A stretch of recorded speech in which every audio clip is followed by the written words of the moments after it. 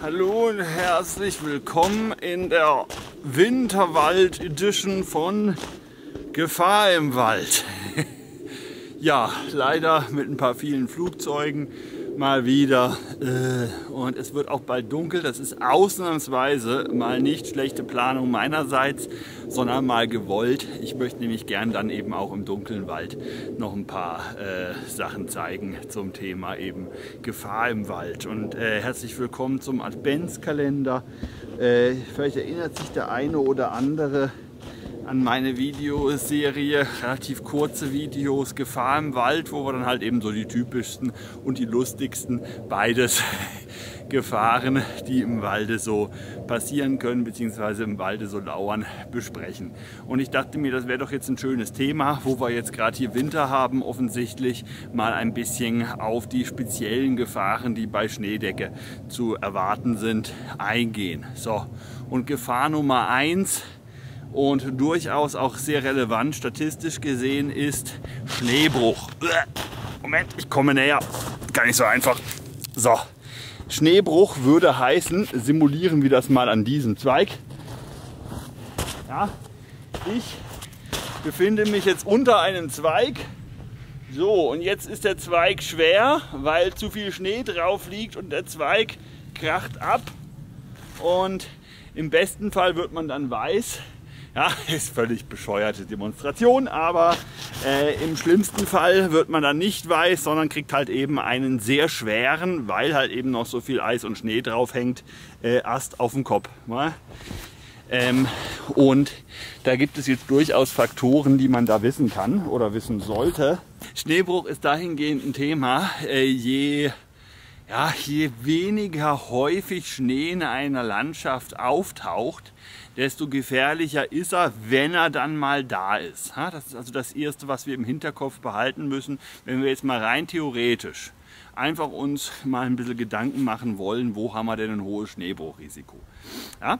Denn äh, Wälder, die ständig Nassschnee-Erlebnisse haben, ja, bei denen klebt dauernd nasser Schnee am Zweig und dann sind die labilen Zweige, also die, die halt sowieso schon ein bisschen instabil sind, die vielleicht schon abgetrocknet, also durchgetrocknet sind und ohnehin nur noch als toter Ast am Baum hängen. Äh, dazu vielleicht ein kleiner Exkurs. Nadelbäume werfen ja ihre Äste nicht aktiv ab. Äh, die bleiben so lange am Baum hängen, bis sie halt von irgendeiner Kraft abgebrochen werden vom vorbeilaufenden Brennholzsammler, vom äh, Förster, der Bäume ohne Äste haben möchte. Der sägt sie allerdings ab, der bricht nicht. Ähm, vom Wind theoretisch, von irgendwann der Schwerkraft, wenn sie so durchgefault sind, dass dann halt wirklich äh, die Schwerkraft zuschlägt und sie davon abbrechen.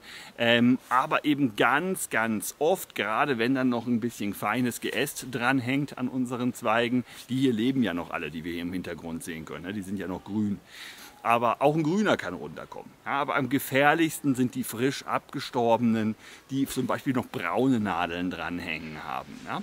Braune Nadeln sind jetzt nicht gerade dafür geeignet, um damit besonders gut Photosynthese machen zu können. Was aber hingegen eben geht, das ist, äh, dass der Ast noch eine Menge Schnee aufnehmen kann und festheben kann. Und äh, dann kommt der als allererstes am ehesten runter. Ja? Zumal es wahrscheinlich auch das erste Jahr ist, dass so ein brauner Ast, also mit Nadeln aber braun, ähm, jetzt so ein größeres Schneeereignis abbekommt. Ja? Weil so lange hängt der da noch nicht im braun benadelten Zustand. Wäre der schon zwei, drei Jahre in dieser Form am Baum, dann würden da keine braunen Nadeln mehr dranhängen. So, und das ist gerade insbesondere aktuell durchaus ein Thema, da wir zurzeit ja sehr viele Äste mit brauner Benadelung im Walde haben, durch die ganzen toten Bäume, äh, toten Nadelbäume, vorzugsweise Fichten, Borkenkäfer bedingt. Und wenn jetzt ein Winter mit viel Schnee kommt oder schon da ist, je nachdem in welcher Region man sich befindet, ne, ähm, dann sind da eben jede Menge neue Schneebruchgefährdete Äste gegeben. Tatsächlich ist ein Schneebruch dann gar nicht so ein Thema, wenn wir es mit Wäldern zu tun haben, in denen ständig Schnee liegt, zum Beispiel Hochlage Alpen oder irgendwie sowas, da kriegt ein Nadelbaum jedes Jahr nassen Schnee ab und der, da lohnt sich überhaupt nicht für den Baum überhaupt irgendwelche Äste zu haben, die was anderes als sehr stabil sind, beziehungsweise wenn es mal einen Ast gibt, der nicht sehr stabil ist, dann ist der auch sehr schnell weg. Aber so grob kann man sagen, Wälder, die auf einen krassen Winter gar nicht vorbereitet sind, wo es üblicherweise keinen krassen Winter gibt, da ist das Schneebruchrisiko tendenziell fast noch am höchsten. Was machen denn Wälder, die dagegen angepasst sind? Naja, die Bergfichte, die Fichte ist ja eigentlich ein Gebirgsbaum, das darf man ja nie vergessen. Man kann nicht müde werden, das jedes Mal wieder zu erwähnen. Die richtig am Berg wachsende Fichte, die so ab 1000 Meter in Deutschland äh, losgeht, im Harz schon ab 800 Metern aber sonst so ab 1000 ungefähr. Ähm, da kann man davon ausgehen, dass die sich dann gegen solche Wetterphänomene eben dahingehend angepasst hat, dass sie eine schmale Krone nur ausbildet. Also die Fichten, die wir hier hinten sehen, wir sind hier noch ein Stückchen zu niedrig, ich glaube auf 900 oder sowas dümpel ich hier rum. Die haben also noch nicht so richtig diese Anpassung und nebenher eine schmale Krone ja, kurze Äste in Anführungszeichen. Also wenn der Ast so lang wäre und jetzt liegt da vollständig Schnee drauf, ja, dann ist das natürlich eine entsprechend lange, von meinen Händen aus gesehene lange Hebelwirkung bis zu meiner Schulter und dann bricht sowas relativ schnell runter. Wenn du aber nur so kurze Ästchen hast und da liegt viel Schnee drauf, ja, dann gibt das ein bisschen nach, aber wegbrechen tut da nichts. Das ist so die äh, einfache Veranschaulichung dazwischen. Und drum sind Hochlagenwälder eben da angepasst. Das hilft auch gegen Sturm. Ja. Wenn du da solche Ärmchen hast, dann werden die auch nicht so schnell vom Sturm abgerissen. Äh und ähm, ja, das sind eben diese Anpassungen die wir hier, wie gesagt, eben noch nicht haben. Das sind hier noch ganz normale Fichtenbaumkronen. Jetzt muss ich noch mal näher kommen, damit wir mal in die Baumkronen gucken können. Tada! Ja, also da sieht man jetzt keine besonderen Anpassungen an äh, Schneebruch. Der taucht hier halt eben nicht so regelmäßig auf, dass sich die Bäume schon anpassen. Also der Wald da hinten, abgesehen davon, dass jetzt kein Schnee mehr in den Baumkronen hängt, der ist schon längst ausgetaut. Äh, wir haben noch jede Menge Schnee am Boden, der hält sich auch am längsten. Aber in den Baumkronen ist schon alles in Ordnung. Drum hier jetzt akut kein Schneebruch, aber das ist durchaus eine Gefahr, die im Winter eine Rolle spielt. So.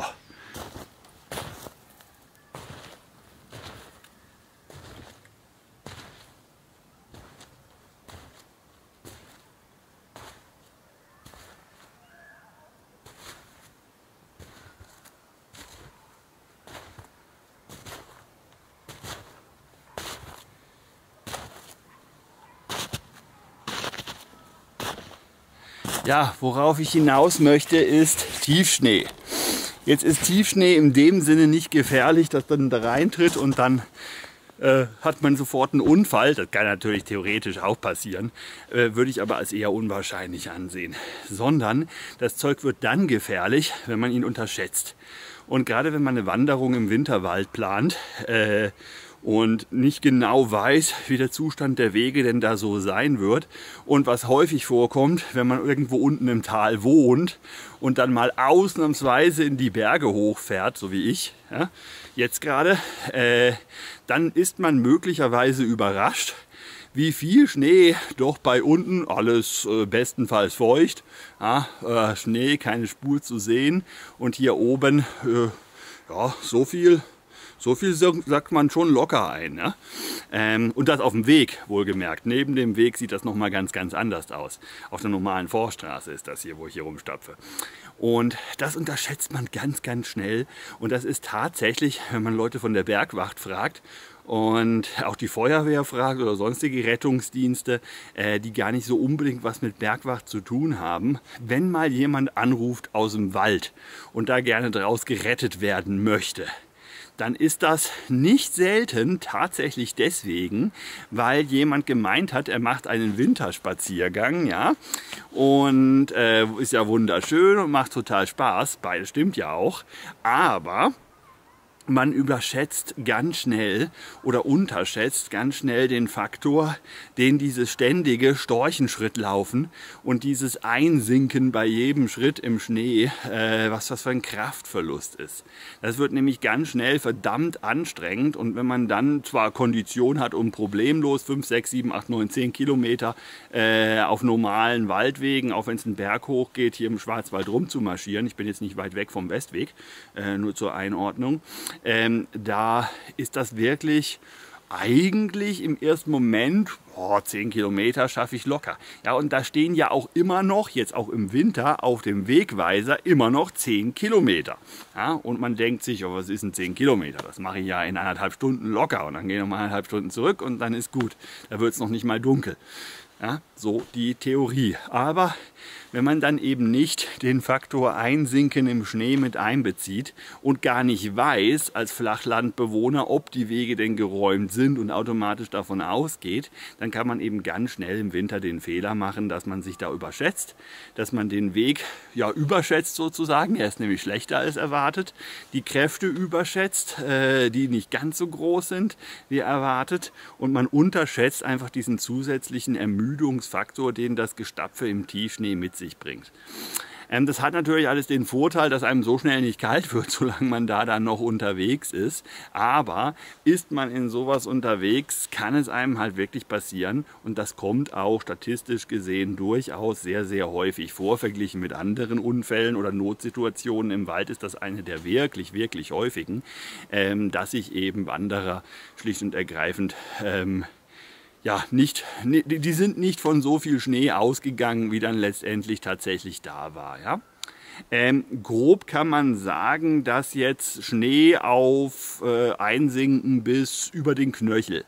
Ja, das braucht in etwa 30 bis 40 Prozent mehr Kraft ähm, beim Gehen langfristig, als wenn gar kein Schnee wäre. Dann kann es noch, noch viel schlimmer ist der Effekt von solchem Schnee, wenn wir nicht nur eine hohe Schneedecke haben, sondern es gab zwischendurch des Nächtens mal ein wenig Frost. Ja?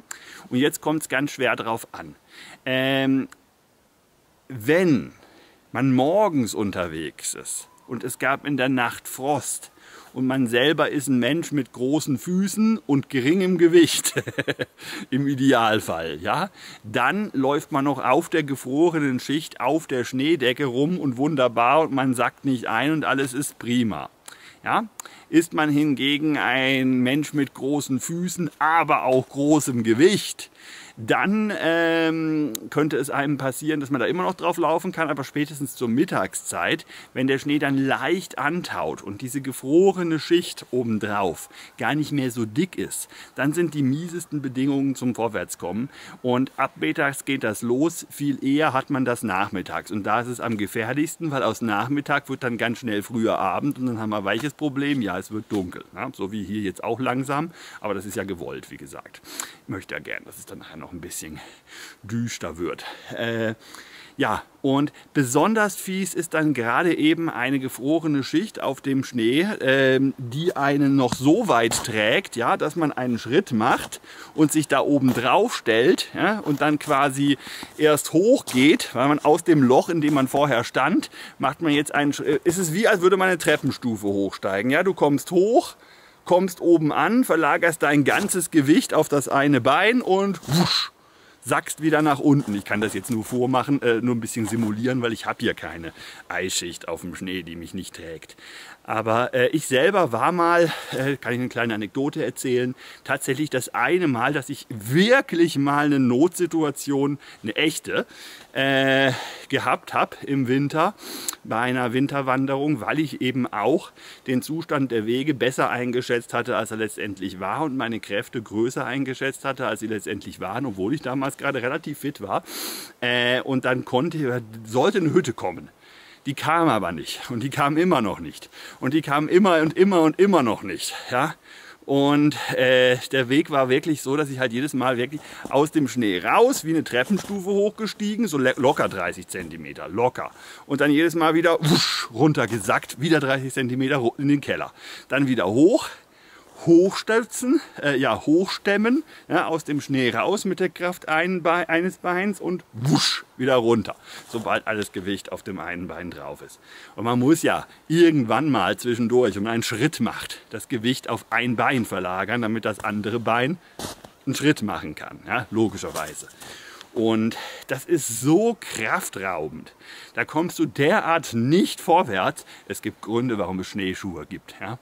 Aber wenn man keine hat, weil man damit nicht rechnet, weil man von gebräumten Wegen ausgeht oder von wenig Schnee ausgeht, dann äh, kann das tatsächlich, und ich spreche da wie gesagt aus Erfahrung dazu führen, dass man einen Notbiwak machen muss im Winter äh, bei Schnee. So, ähm, das war bei mir jetzt dahingehend nicht so schlimm, weil ich eben sowieso draußen pennen wollte und hatte dementsprechend eine Übernachtungsausrüstung dabei. Das war also eine außerplanmäßige, super ungemütliche Übernachtung, aber ging, ja, konnte ich machen. Nur, äh, ja, tatsächlich eben unter den Bedingungen, dass ich dann wirklich völlig fertig war und hätte ich keine Übernachtungsausrüstung dabei gehabt, ich wäre da nicht mehr weggekommen. Das muss man sich auch klar machen. Man ist dann irgendwann so alle, was die Kraft angeht, man kommt da nicht mehr weg.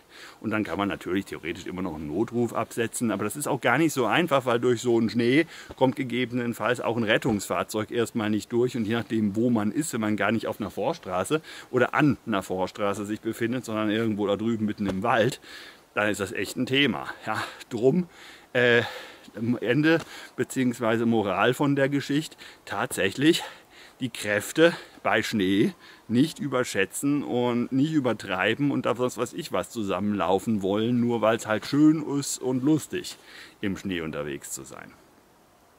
Genau. Ja. Äh, zweite große Gefahr im winterlichen Wald. Das ist alles trivial, ich weiß, aber vielleicht hat man ja trotzdem noch nicht ganz drüber nachgedacht. Und gerade die trivialen Sachen, wo man normalerweise denken würde, ach komm, bitte, das weiß doch jeder.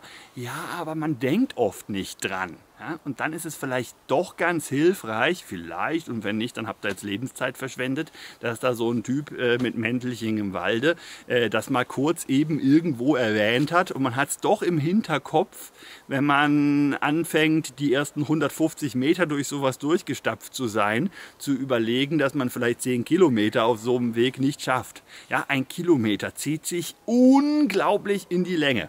Ein Kilometer ist für jemanden mit normaler Sportlichkeit auch schon das höchste der Gefühle, was du dann bei noch einer festgefrorenen Schneeschicht, äh, also einer, einer Eisschicht obendrauf, da schaffst du wirklich viel mehr als ein Kilometer, schaffst du da nicht. Dann bist du fertig mit der Welt. Ja?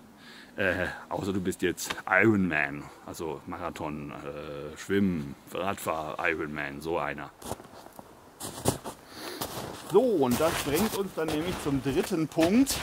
Wenn wir jetzt nämlich äh, eben entsprechend feststellen, dass wir nicht mehr weiter können, dass uns wirklich die Kraft ausgeht und wir auch ein großes Verletzungsrisiko jetzt haben, weil wir nur noch unsichere Schritte machen und vielleicht ist irgendwo auch noch rutschig, wir müssten irgendwo runtersteigen, wo äh, der Boden unsicher ist und so weiter und es wird dunkel. Ja?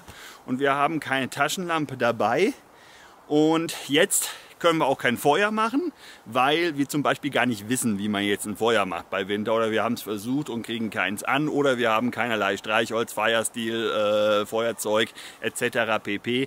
und Feuer bohren bei Schneedecke ja, vielleicht gibt es fünf Leute auf dem Planeten, die das können, aber wahrscheinlich geneigter Zuschauer nicht, ich auch nicht. So, und jetzt ist so die erste Maßnahme, die man auf jeden Fall mal machen kann, während man noch überlegt, was ist denn jetzt zu tun? Scheiße, jetzt stehe ich hier mitten im Nirgendwo und möglicherweise ist es eben schon total duster. Äh, man baut sich erstmal eine kleine Kuhle. Und das macht man, indem man ja im Grunde äh, genau diesen hier auf und ablaufen und sich mal eine Kuhle aus getrampeltem Schnee errichten. Das hat einfach und schlicht und ergreifend erstmal den Grund, dass man sonst, wenn man immer im Tiefschnee steht, ja, mit den Füßen, dann ist irgendwann jeder Stiefel nass. Beziehungsweise der bleibt auch nass, mindestens das Außenmaterial, selbst wenn er sonst wasserdicht ist. Und das nasse Material, das leitet wunderbar die Feuchtigkeit, äh, also die, durch die Feuchtigkeit leitet das dann wunderbar die Körperwärme vom Fuß ab. Und auch wenn man unter normalen Bedingungen, hoppala, als normaler gesunder Mensch äh, wahrscheinlich eine Nacht im Winter bei ein paar Grad minus. Ne? Also jetzt gehen wir mal von aus, wir hätten so 5 bis 10 Grad minus. Äh, so kalt ist es momentan gerade gar nicht. Aber könnte in der Nacht ein paar Grad minus gibt es da, auf jeden Fall. Ja? Also nochmal, wir sind hier auf 900 Metern.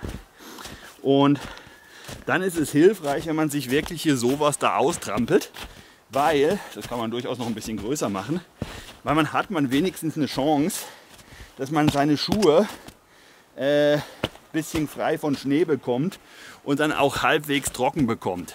Ja, und man hat halt nicht durch die eigene Körperwärme im tiefen Schnee stehend, dauernd die Tatsache, dass man halt dann eben durch seine eigene Körperwärme Schnee schwilzt, der dann wiederum die Schuhe nass macht und so weiter.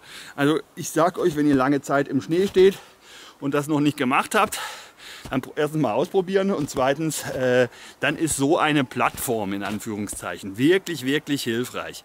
Und auch die Nacht, die ich mal bivakieren musste, eben unplanmäßig, im Schnee. Das erste, was ich auch gemacht habe mit den letzten Kräften, die ich noch hatte, war, ich habe mir hier halt wirklich so ein großes Bett in Anführungszeichen in den Schnee gestampft. Äh, der war da noch erheblich tiefer als jetzt. Und zwar so groß, dass ich mich da dann auch hinlegen konnte. Ich habe dann gar nicht großen Tarp aufgebaut, sondern habe einfach Isomatte hier jetzt auf den Schnee und obendrauf mich und einen Schlafsack und habe mich da halt hingelegt und versucht, so gut es geht, die Nacht zu überstehen. Hat bei tiefem Schnee jetzt übrigens auch noch den Vorteil, dass man automatisch nur noch einen Rand bekommt und dieser Rand automatisch einen gewissen Schutz vor Wind bietet. Ja, oder wenn dann auf jeden Fall noch mal ein größeres Windchen daherkommt. Hat aber auch den Nachteil, das muss man auch fairerweise sagen, die kalte Luft, die sich auf dem Schnee bildet. Ja, die bildet sich hier auf dem Schnee, auf Bodenhöhe sozusagen und der Boden ist eben nach oben gehoben, dadurch der Schnee drauf liegt und die fließt dann runter. Und runter heißt, die fließt auch in unsere Kuhle und sammelt sich in unserer Kuhle. Das klingt jetzt völlig harmlos, weil unsere Kuhle hier ist 30 cm tief, wenn es hochkommt. Ist es aber nicht. Ist wirklich nicht harmlos. In unserer Kuhle haben wir also eine, höhere Bo äh, eine niedrigere Bodentemperatur, als wir das zum Beispiel direkt auf dem Schnee hätten. Aber direkt auf dem Schnee können wir sowieso nicht stehen oder sitzen oder liegen. Daher ist das eh keine Option. Ja, aber das muss einem klar sein. Nehmen wir jetzt mal an, das ist nämlich das nächste Problem. Ja, man muss jetzt irgendwie die Nacht überstehen, will aus Orientierungsgründen nicht weg, äh, kann aus irgendwelchen Gründen übrigens auch keinen Notruf absetzen. Wenn das geht, dann können wir uns das Ganze überlegen, sparen, ist ja klar, dann macht man das und dann wird man rausgeholt und dann ist gut, klar, ja kein Thema. Ne? Aber wir gehen jetzt mal davon aus, dass das aus irgendwelchen Gründen nicht möglich ist und äh, hat man jetzt gar keine Unterlage, wo man sich draufsetzen kann, ist das ein Thema, weil dann müsste man die ganze Zeit stehen. Und vor allen Dingen wird es dann irgendwann wahrscheinlich auch so kalt und wir sind wahrscheinlich nicht so warm angezogen, dass wir die ganze Zeit einfach so im Winter im Walde rumstehen können, ohne dass wir frieren. Und drum ist es dann auch gut, nochmal diese Kuhle hier zu haben, weil da kann man relativ unproblematisch und ohne Verletzungsrisiko mit einem gewissen Energieumsatz, der uns warm hält, aber dann doch auch nicht wieder mit so viel Energieumsatz, dass wir das Ganze nur zwei Stunden machen können, danach umfallen, äh, kann man sich hier noch bewegen. Ja? Und wenn das nur so minimale Bewegung ist, zur Not müsstest du das jetzt die ganze Nacht, natürlich noch ein bisschen größeres Feld im Idealfall, die ganze Nacht diesen hier machen. Ja? Das reicht aus, dass man nicht erfriert. Das ist nicht lustig und das macht keinen Spaß. Aber irgendwann wird es wieder hell und dann ist auch gut. So, das wäre jetzt allerdings die, ich sag mal, wenn nichts anderes mehr geht, Lösung. Wenn aus irgendwelchen Gründen nichts anderes mehr möglich ist, als bestenfalls eben so eine Schneekuhle und rumlaufen, bewegen, um die Körpertemperatur nicht auf gefährliches Niveau absinken zu lassen hat man noch ein paar Optionen, kann sich noch ein bisschen in der näheren Umgebung bewegen, hat vielleicht sogar noch ein bisschen Werkzeug dabei und wenn es nur ein Taschenmesser ist, dann kann man sich zumindest hier noch was zum Sitzen bauen. Ich demonstriere das mal.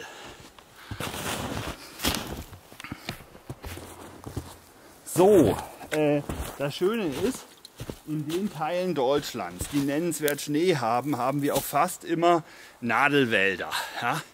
Und das heißt, man findet im Idealfall einen umgestürzten Baum. Da hinten liegt einer, da habe ich das jetzt her. Äh, da liegt er noch nicht lang, eine Tanne. Und äh, ja, dann kann man sich da eben noch mehr, ne, das ist viel zu wenig, ist nur zu Demonstrationszwecken, entsprechend ein bisschen Reisig holen, wenn man zum Beispiel ein gutes Schweizer Taschenmesser, was ich sowieso bei jedem Waldbesuch empfehlen würde, zum Beispiel so eins hier, mit eben dieser super praktischen Säge, ja, äh, kann man wirklich in jedem Täschlein, in jedem Hosentäschlein dabei haben und das ist so nützlich. Und dann hat man rucki sich Äste dieser Größe, so viele man haben möchte, zusammengesägt äh, wenn man keine faule Sau ist wie ich. und man kann da wirklich sich prima eine Sitzgelegenheit mitbauen. Theoretisch kann man sich auf dem Wege auch eine prima Schlafgelegenheit bauen. Ja? Also man muss das wirklich locker 50, 60 Zentimeter aufhäufen, wenn man da drauf liegen möchte. Aber das Gute ist, drunter haben wir ja noch gestapften Schnee plus jetzt eben diese Unterlage. Und das sorgt insgesamt für eine erstaunlich gute Bodenisolierung. Ja? Also äh, ich bin da zumindest schon viele Stunden drauf gesessen auf sowas und kann sagen, man kriegt überhaupt keinen kalten Hintern. Das funktioniert wunderbar. Äh, wie gesagt, wenn man halt eben fleißig genug ist und das auch dick genug da auslegt.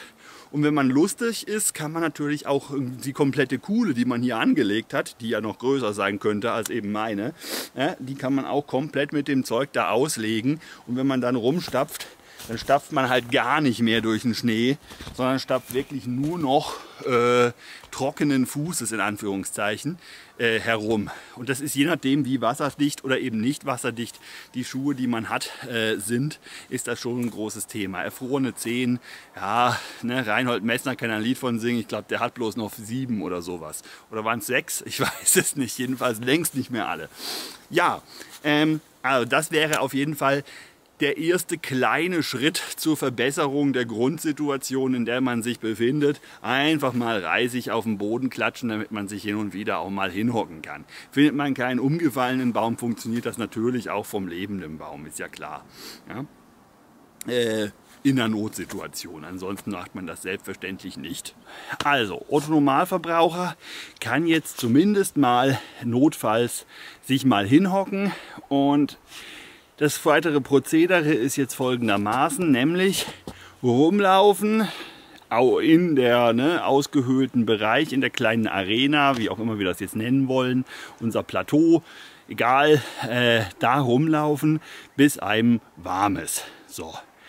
Dann wird man wahrscheinlich irgendwann müde vom vielen Rumlaufen. Dann hinhocken, Schrägstrich hinlegen, je nachdem wie warm man angezogen ist, je nachdem wie viel Isolationsmaterial man auf den Boden gelegt hat, je mehr, desto besser ist klar.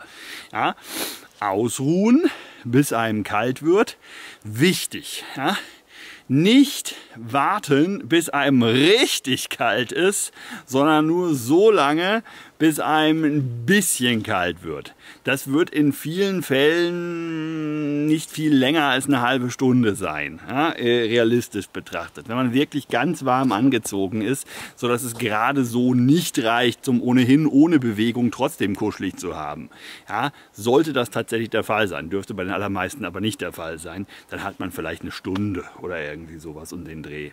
Aber spätestens dann muss man immer mal wieder aufstehen, immer mal wieder rumlaufen, bis einem wieder so weit warm ist. Das kann durchaus dann noch mal eine Stunde dauern, ja, je nachdem, wie lang man verpennt hat, noch mal aufzustehen. Und gerade die Füße sind in vielen Fällen ein Thema. Hat man nicht irgendwelche super, super warmen Winterstiefel, werden die Füße das Hauptthema sein und das Hauptproblem. Aber wenn man nichts weiter hinbekommt als diese paar simplen Maßnahmen, diese zwei im Wesentlichen, dann kann man damit schon irgendwie die Nacht überstehen. Äh, Stunde Ausruhe, halbe Stunde Stunde ausruhen, halbe Stunde, dreiviertel Stunde, Stunde rumlaufen, halbe Stunde ausruhen. Wieder rumlaufen, bis einem wieder wirklich gut warm ist. Nicht nur so einigermaßen erträglich, sondern so richtig gut, kurz, dass man an, kurz bevor man anfängt zu schwitzen im Idealfall. Schwitzen auf jeden Fall vermeiden. Äh, wer Survival Martin kennt, der sagt doch immer, wer schwitzt, stirbt. Der Spruch hat tatsächlich was aus dem Arktis überlegen zu tun, nämlich wenn du da eben tatsächlich dich so sehr bewegst, dass du in deiner warmen Kleidung anfängst zu schwitzen, dann machst du was falsch, weil den Schweiß, der kann sogar gefrieren, wenn es dumm läuft, äh, weil du dann so schnell auskühlst, sobald du aufhörst, dich zu bewegen. Ähm, und dann kriegst du dann so schnell nicht mehr raus aus den Klamotten und das kriegst du auch nicht mehr trocken äh, rein mit Körperwärme und dann könntest du wirklich ein Problem kriegen bewegen und daher ist an diesem, wer schwitzt, stirbt, sogar ein bisschen was dran, diesem Spruch, ne? ähm, unter gewissen Bedingungen. Ja, und auch hier würde das dann gelten, dass man dann möglichst versuchen würde, eben nicht zu schwitzen, weil dann hat man ein Problem.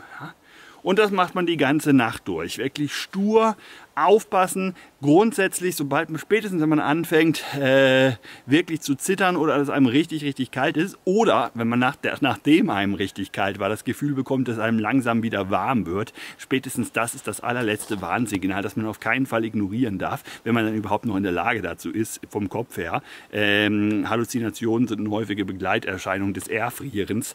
Ähm, daher auf keinen Fall zu lange warten, wirklich spätestens ein Stück nach dem Stündchen, selbst wenn man super warm angezogen ist, eine Runde rumlaufen, bewegen, Körpertemperatur hochbringen und dann erst wieder hinhocken. Und irgendwann ist die Nacht rum. Das kriegt jeder hin. Jeder halbwegs gesunde Mensch schafft es auf diesem Wege, die Nacht zu überleben, kann dann am nächsten Morgen sehen, wo es lang geht, hat hoffentlich auch sogar ein kleines bisschen Kraft regenerieren können, um wieder genügend Kräfte zu haben, um weiterzukommen oder zumindest um sich jetzt orientieren zu können, deutlich besser oder sicher im Wald rumzulaufen, ohne gegen den Baum zu rennen. Es hängt natürlich immer davon ab, wie dunkel ist die Nacht eigentlich. Bei einer Schneedecke wird sie ja nicht so dunkel. Und wenn man sagt, ach komm, das ist noch super hell, kann ich weiterlaufen, ja, dann ist auch wunderbar, dann braucht man das alles nicht. Aber wenn man gezwungen ist, die Nacht stationär zu verbringen, ähm, dann eben besagte Methode. So, das sind eben die zwei Maßnahmen für jedermann. Ja, notfalls reißt ihr die Zweige ab, notfalls reißt ganz kleine Zweige ab, davon dann halt immer viel, viel, viel, viel mehr logischerweise, aber das geht. Man braucht da kein Werkzeug, Handschuhe hat man im Winter hoffentlich sowieso dabei, dann ist auch das Verletzungsrisiko relativ gering und dann funktioniert das schon. Wer jetzt hingegen noch ein zusätzliches Utensil dabei hat, wie zum Beispiel ein Feuerzeug, ja, der ist natürlich fein raus und kann versuchen, sich zumindest für einen Teil der Nacht äh, ein Feuerchen zu machen. Ja, solange man jetzt noch schön was sieht, erzähle ich noch ein bisschen die Theorie dazu und wenn es dann langsam wirklich duschter wird, versuchen wir es mal. Ich kann auch nicht garantieren, dass ich es hinkriege. Das ist bei Schneedecke wirklich nicht ganz einfach, äh, zumal wenn man keine Vorbereitung hat. Man hat wirklich bloß bestenfalls ein Feuerzeug, ein Streichholz, meinetwegen auch ein Mini-Fire-Stil im Taschenmesser integriert zum Beispiel, das hätte ich jetzt auch noch dabei. Ähm, aber kann ich euch kurz zeigen, nur spaßeshalber.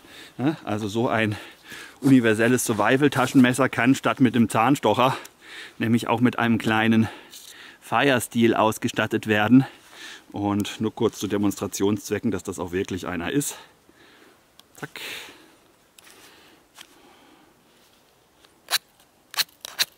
Ne? Also ich will jetzt gar nicht groß super rumfunken, aber es geht. Es geht. Und man kann damit tatsächlich auch ein Feuer anzünden, habe ich auch schon hingekriegt. Muss man ein bisschen üben, ein bisschen trainieren. Die heißen, glaube ich, Firefly, ja, ich glaube, so heißen sie. Äh, sind schwer zu kriegen in Deutschland, aber man kann sie ergoogeln und notfalls im Ausland bestellen. Also geht schon.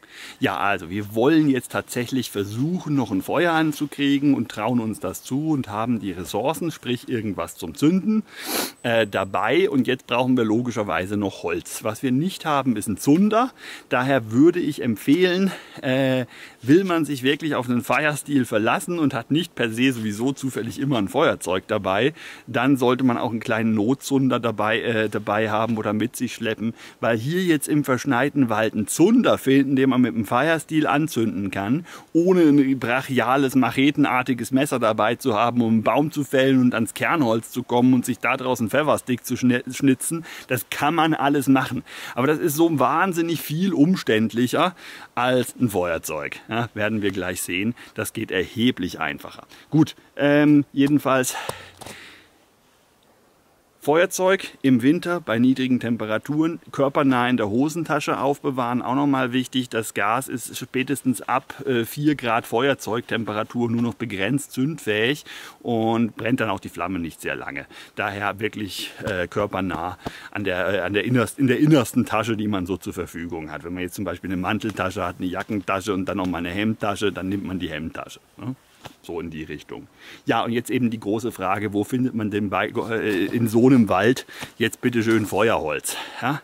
Gibt mehrere Komponenten von Feuerholz, die man da braucht und ohne Werkzeug. Jetzt geht, also oder nur mit einem kleinen Taschenmesser, ja. Und auch bei begrenzt Zeit, weil es ist schon dunkel geworden oder es ist jetzt Dämmerung und äh, wir bemerken, wir kommen nicht rechtzeitig aus dem Wald raus. Wir haben unsere Kuhle zusammengetrampelt, wir haben unser Polster angelegt. Und während ich jetzt immer noch am Labern bin, wird es ja auch langsam dunkel. Und jetzt sollten wir spätestens im letzten Licht so schnell wie möglich aber doch konzentriert und unfallvermeidend selbstverständlich, äh, versuchen noch ein bisschen Holz zu besorgen, damit wir dann auch was haben, was wir anzünden können. Wenn man das sehr, sehr rechtzeitig macht, hat man vielleicht sogar genug Zeit, sich eine große Menge Holz zu besorgen, sodass man auch lange was von seinem Feuer hat. Notfalls müsste man dann nachts im Laufe der Dunkelheit, wenn die Dunkelheit gar nicht so schlimm ist, wie gesagt, das wissen wir nicht, das hängt jetzt davon ab, äh, dann kann man da vielleicht noch mal ein bisschen Holz nachholen. Vielleicht. Wenn nicht, hat man halt eben nur einen Teil der Nacht ein Feuerle, kann diesen Teil der Nacht dann recht gut zubringen, recht warm zubringen, ohne groß aufstehen und rumlaufen zu müssen. Äh, machen wir uns auch nichts vor. Ein Feuer heißt jetzt nicht, dass du dich dann alternativ deswegen gleich gemütlich hinlegst und dann durchpennst. Man müsste, wenn man wirklich mit der Wärme des Feuers eine warme Nacht verbringen möchte und das im Winter, da braucht man vorher sehr viel Zeit und muss vorher noch gewisse Baumaßnahmen vornehmen. Äh, nämlich braucht man dann, äh, also nehmen wir mal an, hier wäre jetzt diese Ebene. Ja? Und ich liege hier jetzt wie dieses Taschenmesser. Ja, ich liege jetzt hier so auf dieser Ebene drauf. Ne? Das sieht man jetzt nicht. Genau. Und das bin ich. Ne? Ich liege hier so und ich bräuchte hier jetzt noch ein Dach bzw. einen Hitzereflektor, also mindestens eine Wand, die ich mir hier aus Baumstämmen, Asten, Ästen oder sonst wie aufschichte. Theoretisch könnte ich auch eine Schneewand bauen, aber die schmilzt dann irgendwann und tropft auf mich runter. Ist dann also nicht so lustig. Also als Notbehelf, besser als nichts. Ja, und hält eine Weile. Ähm, aber ja, wenn es irgendwie geht, nimmt man da Äste oder ähnliches Material und die dienen dann als Hitzereflektor. Hier ist das Feuer, ja, das Feuer heizt über mich drüber. Auf der Seite hier, wo das Feuer ist, bin ich auch einigermaßen warm, aber Rücken kriege ich kalt ja, oder Brust, je nachdem, wie rum ich zum Feuer liege. Und drum muss hier ein Hitzereflektor hin, an den die Hitze quasi dagegen knallt und der die Hitze wieder zurück auf mich runter projiziert. Ähm, und wie gesagt, sowas kann man bauen, wird man aber in einer Notsituation, wo man wirklich merkt, jetzt kriege ich langsam Probleme, jetzt wird es langsam kalt und ich komme hier nicht mehr rechtzeitig aus dem Wald raus, da hat man die Zeit nicht. Wenn man mit dem Flugzeug in Alaska abstürzt, morgens um kurz nach sieben, dann hat man schon die Zeit bis zur Nacht, sich ein vernünftiges Lager zu bauen mit Wärmereflektor, mit riesiger Brennholzmenge etc. und so weiter. Ja, aber für so eine, wir haben uns verlaufen, wir haben unsere Kräfte falsch eingeschätzt, äh, Notüberbrückung der Nacht sozusagen, da kann man froh sein, wenn man überhaupt ein Feuer in Gang kriegt. Ja, und deswegen würde ich es dabei auch bewenden lassen und alle weiteren Survival-Techniken, ähm, ja, die sind für langfristigere Sachen gedacht. Gut, wir gehen mal Brennholz suchen. Ja? Also ich, ich hole schon wirklich welches, aber ich zeige euch jetzt nur mal kurz theoretisch, damit ich nicht ganz so viel filmen muss. Äh, wo finden wir denn jetzt hier Brennholz? Stufe 1 wäre zum Beispiel so ein Baum hier. Der ist eigentlich ziemlich toll, weil der hat hier diesen dieses runterhängende Reisig. Ja, das kann man da so einigermaßen sehen. Das war mal mehr. Ich habe da schon ein bisschen was geholt.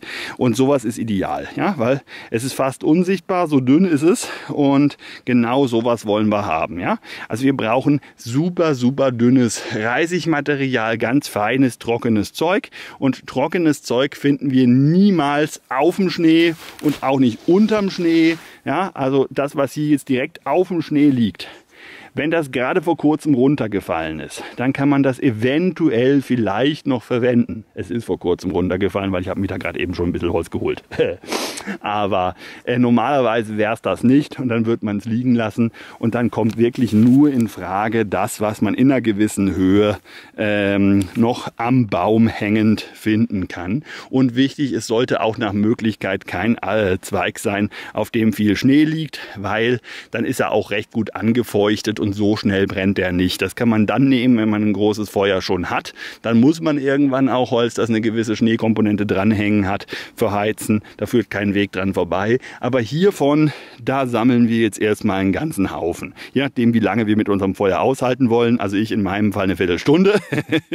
Aber wenn es jetzt ganz, ganz lange gehen sollte, würde ich hier auf jeden Fall alles mitnehmen, was zu kriegen ist. Und nochmal viermal so viel. Locker, ja. Für, für wirklich die ganze Nacht. Wenn ich die Zeit habe. Wenn ich die Zeit nicht habe, nehme ich so viel, wie ich Zeit habe. So, und von mir aus gesehen hier Hang aufwärts. Das Bild wird schlechter, aber wir zoomen da mal ran. Da könnt ihr sehen, das ist das, was wir haben wollen. Das ist Fichtenstangenholz. Ja? Also man kann durch den Wald unten durchgucken und die jungen Bäumchen sind noch nicht sehr dick und sehen aus wie so einzelne Stangen. Und das ist idealerweise genau die Waldphase in einem Fichten- bzw. Nadelwald. Äh, das darf auch ein Fichtentannenmischbestand sein, der sieht so ähnlich aus. Das spielt jetzt keine Rolle, kann auch ein reiner Tannenbestand sein, den werdet ihr sowieso nur im Schwarzwald finden, aber egal, jedenfalls ein Nadelwald mit Fichte, Tanne, Douglasie, äh, seltener mit Kiefer. Dann sieht das irgendwann in irgendeiner Wald, also was heißt in irgendeiner, in der Stangenholzphase so aus und da sehen wir überall an den Bäumchen hängen eben die abgestorbenen Zweige noch dran. So, und die können wir uns jetzt bequem äh, waldschonend absägen, wenn wir den Wald schonen wollen. Und äh, wenn wir das nicht wollen, weil wir halt eben in Not sind, dann können wir die auch abbrechen und kommen auf diesem Wege an ziemlich trockenes Feuerholz. Macht euch klar, solche Hänge hier, das ist nicht gerade einfach da rumzustapfen und ich werde da jetzt trotzdem mal hochdappen, äh, einfach zu Demonstrationszwecken und dann noch ein paar Äste mitnehmen, damit wir einfach ein kleines, kleines Feuer mal unterhalten können und ihr dürft mich dabei äh, bewundern, in Anführungszeichen. So, also bis gleich, ich bringe was mit.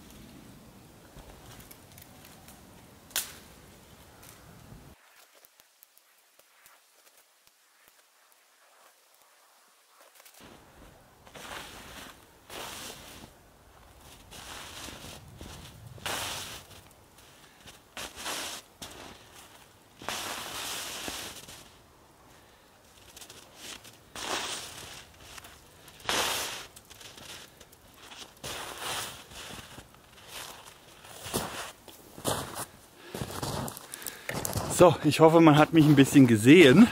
Äh, das ist die Beute.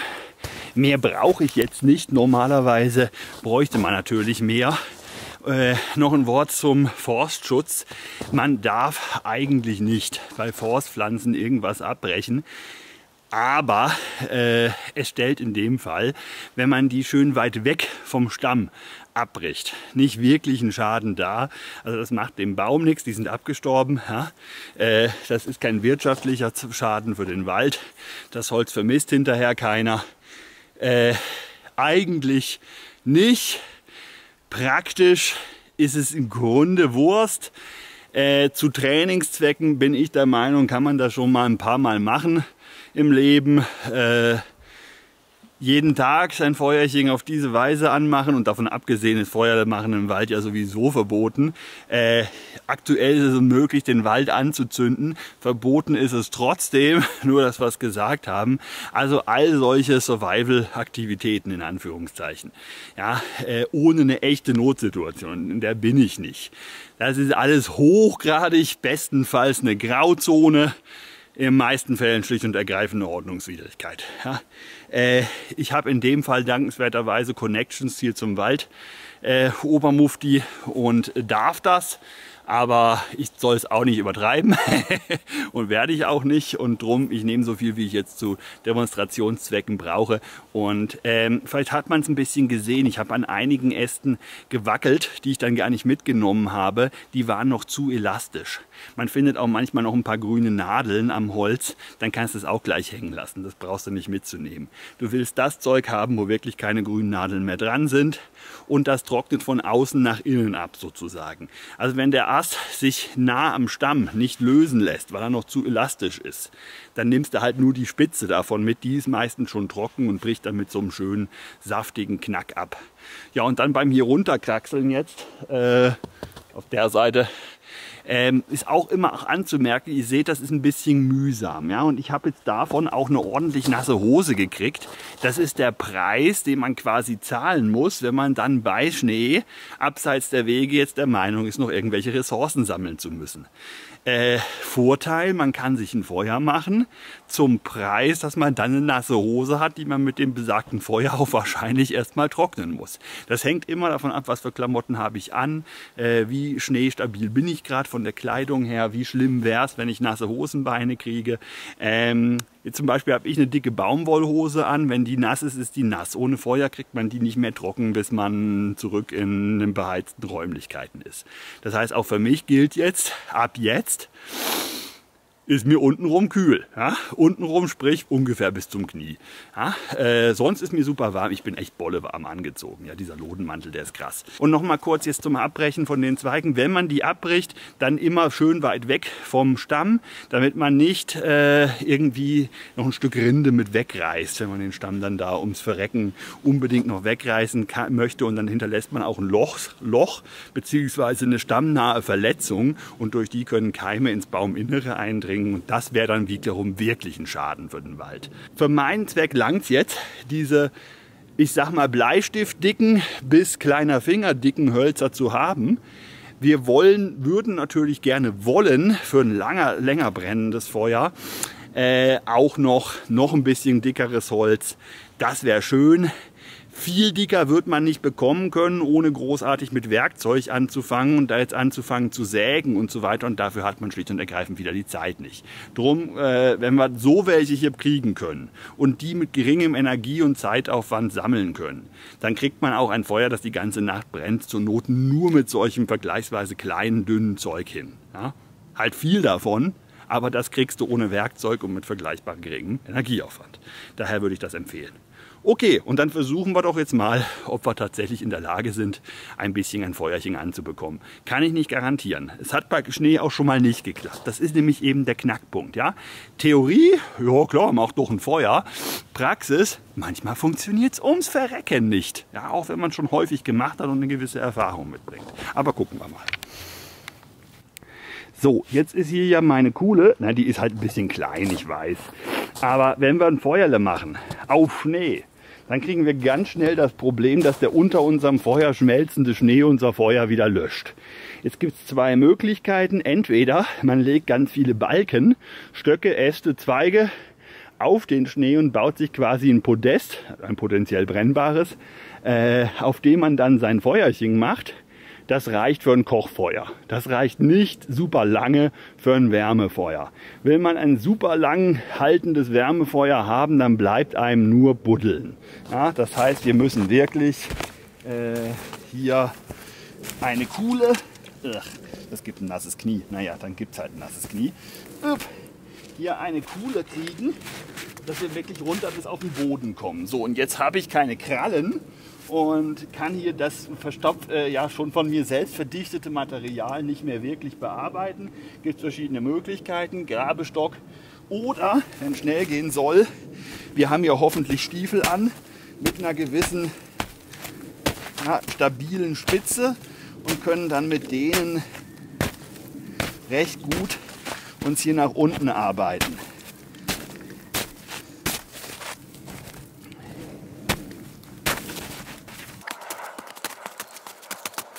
Ich mache das jetzt gerade off Kamera, da müsst ihr mir nicht ewig zugucken.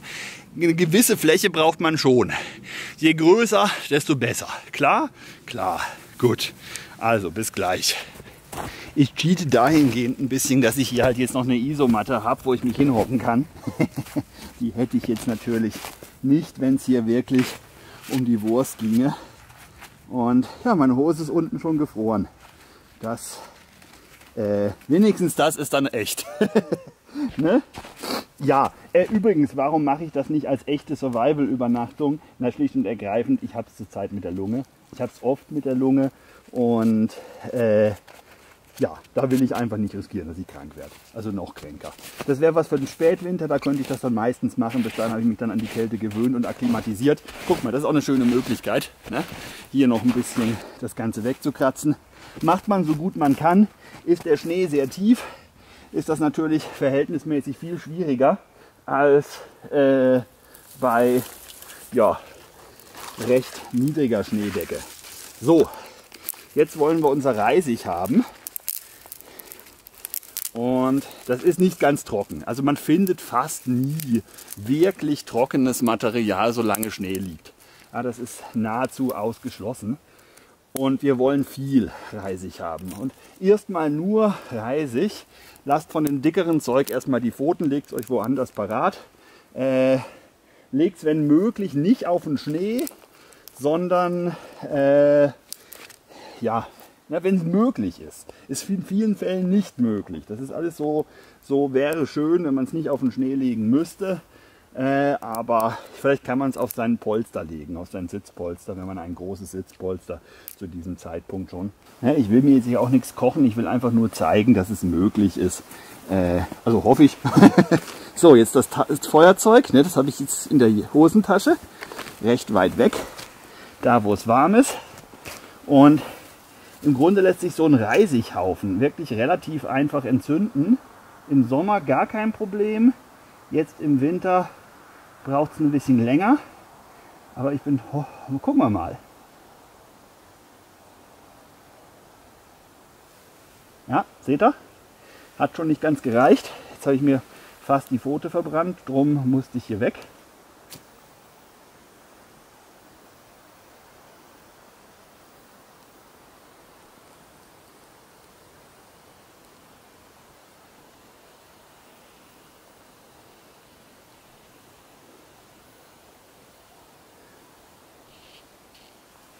Ja, eben.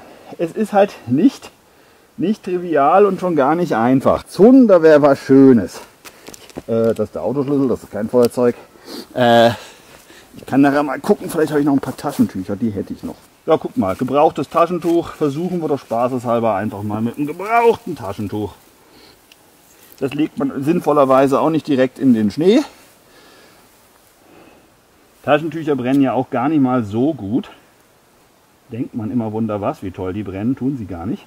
So, jetzt könnte man mir theoretisch ganz lange dabei zugucken, wie ich da versuche, ein Feuerchen in Gang zu kriegen.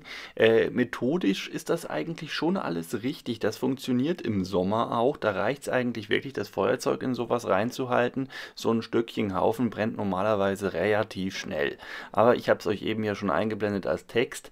Da muss jetzt erstmal das Eis schmelzen. Dabei geht ein Haufen Energie verloren beim Aggregatzustandswechsel vom Wasser. Danach muss das Wasser im Idealfall zumindest ein großer Teil davon äh, auch noch verdampfen, das Holz also trocknen und dabei geht wieder ein Haufen Energie beim Aggregatzustandwechsel des Wassers verloren. Und äh, diese Energie, die dann notwendig wäre, um dann noch das Holz auf eben circa 160 Grad Minimum äh, anzuheizen, bis das anfängt zu zünden, äh, die fehlt mir einfach. Ja? Und ich versuche es dann hin und wieder mal mit Taschentuch, was ich hätte machen sollen, jetzt rückwirkend. Ja? Aber das ist einem dann auch nicht klar. Und Zunder zu sparen ist grundsätzlich auch keine schlechte Idee. Ja? Dass man also nach und nach ein Taschentuch nimmt und nicht jetzt gleich fünf auf einmal reinschmeißt, weil ich hatte ungefähr, weiß ich nicht, fünf oder sechs.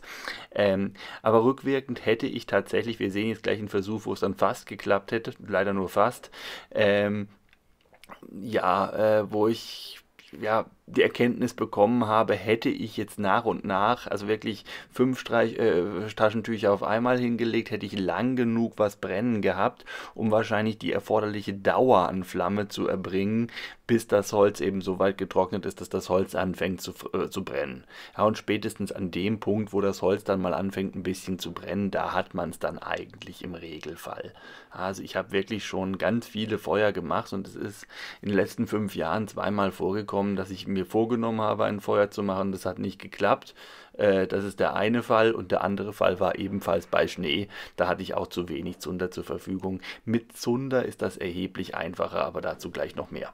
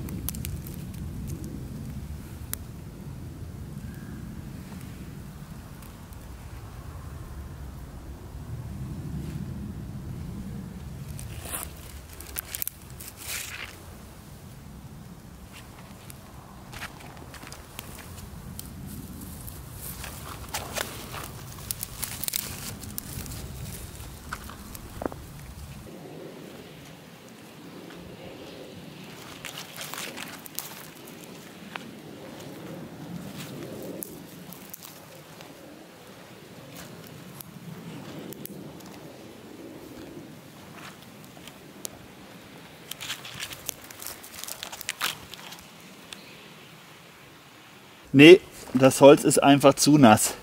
Also auch das trockene Zeug vom Baum, das vergleichsweise trockene Zeug vom Baum, das reicht einfach nicht.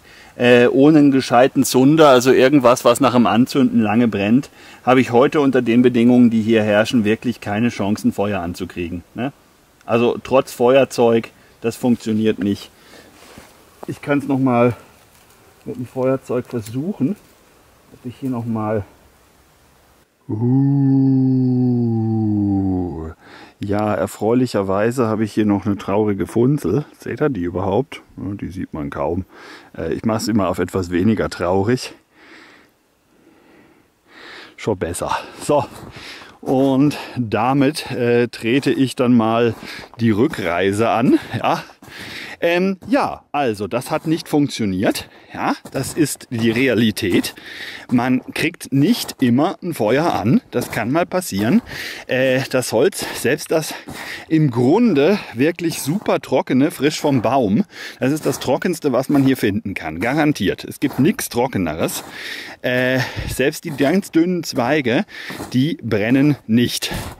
Ja, äh, das Einzige, was jetzt theoretisch noch trockeneres Holz potenziell, ne? das klappt auch nicht zwingend, aber potenziell noch trockeneres Holz wäre, oh ein Graben, äh, das wäre dann tatsächlich noch Kernholz von dicken, äh, abgestorbenen Stämmen, die hier aber auch nicht rumstehen. Ja? Und wenn die unter der Schneedecke liegen, dann kannst du es auch sein lassen.